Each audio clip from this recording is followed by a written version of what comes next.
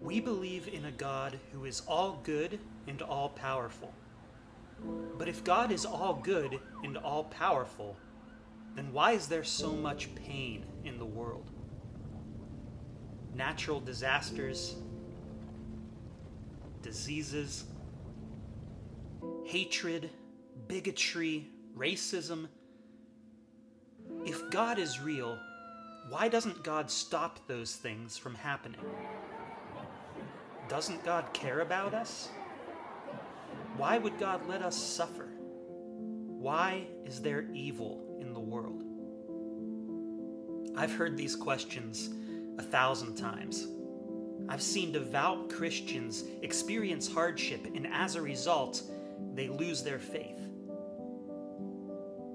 They ask, why would God allow this to happen? It can be easy to have faith when things are going well, when we feel blessed, when we can see that God is taking care of us. But when things fall apart, it's all too easy to turn our backs on God and to assume either that God doesn't care or God doesn't exist. So let's tackle the first and most fundamental question Why is there evil in the world? If God created all things, why did God create a world that allowed evil? To answer that question, we first need to understand what evil is. Evil is not a thing itself. Evil is a lack. That is to say, evil is a lack of goodness. Just as darkness is not a thing itself, but is rather an absence of light. So is evil not a thing itself, but an absence of goodness. So God did not create evil. God created all that is, but evil is not. However, there's a problem. We can choose whether or not we follow what is good. God created us with free will, so we can decide what we do and what we believe. But why would God create us with free will if God knew that we would choose not to do good and we would introduce the lack of good or evil into the world? The answer is love. God created us to love God and to love one another. But love has to be a free choice. Can you force someone to love you? If you try to force someone to love you, it usually has the opposite effect. By its very nature, love has to be a free choice.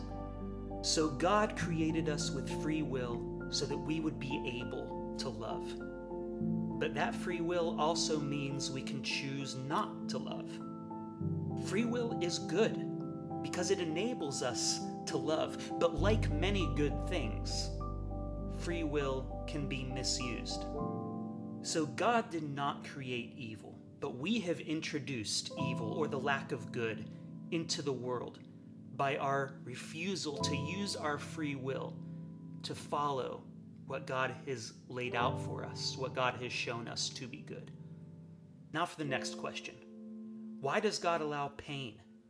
Whether it's physical pain or mental and emotional pain. Well, pain is not itself evil. Pain serves a purpose. It tells us that something is wrong. If we didn't have physical pain, we wouldn't know when something was wrong with our bodies and then we wouldn't go seek medical treatment. Emotional pain also alerts us when something is wrong. When relationships end or we lose a loved one, the pain we feel tells us that that's not the way things are supposed to be.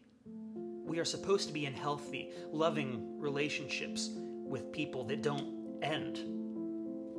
But our God is no stranger to pain. God took on flesh in the person of Jesus Christ and experienced all the pain that we do rejection, the death of friends, temptation, and a brutal, torturous death. God understands what it means to suffer, and Christ Himself suffered for us so that our sins can be forgiven. Jesus suffered so that we can have life, even though we have failed to choose the good, even though we have failed to love. We have failed to use our free will to be what God created us to be. But because Jesus suffered and died and rose again, we can have life anew. So, to sum up, evil doesn't actually exist. It is a lack of what truly exists, which is goodness, because all that God made is good. Pain and suffering are a natural part of the human experience, and natural disasters are just that natural part of living in a natural world. But God knows what it feels like to experience suffering in a human body. And because of that, we are never alone in our suffering.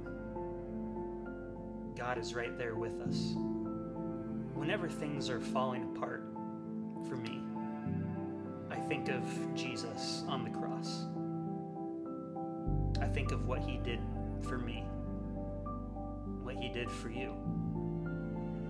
Now it's time to read the material below and answer the reflection questions. Have a great week.